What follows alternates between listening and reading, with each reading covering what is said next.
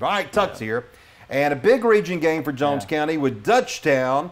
Always a pretty good game between those two, Tuck. Yeah, two sets of dogs in gray uh, tonight. The Hounds hosting Dutchtown. The Hounds are 3 and 0 record in the region coming in. All the dogs were wet tonight. My shoes are too.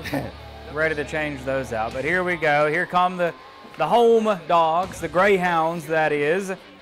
We pick it up midway through the first quarter. Still scoreless. Dutchtown quarterback Mike Johnson for the keeper. The big pickup into Jones County territory. The Bulldogs would eventually go for it on fourth down. Johnson trying to find some running room up the middle, but he is dragged down, and that is short of line to gain.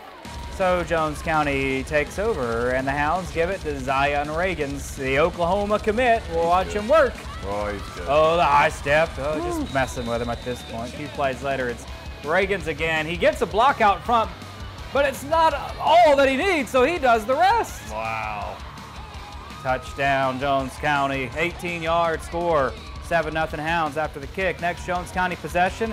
Hounds go to the air. Devin Edmonds threads the needle to Javen Solomon. And Sullivan almost makes it all the way, but he's taken down around the 10 yard line. Same drive, second quarter now. Hounds backed up a bit, going for it on fourth and goal from the 18. And they chunk it up, and it's caught. But the ref says he doesn't get a foot down. Turnover on down. Still Wow. 7 to nothing. Ensuing Dutchtown drive, Bulldogs facing third and long, and Braxton Brown uh, overthrows his receiver.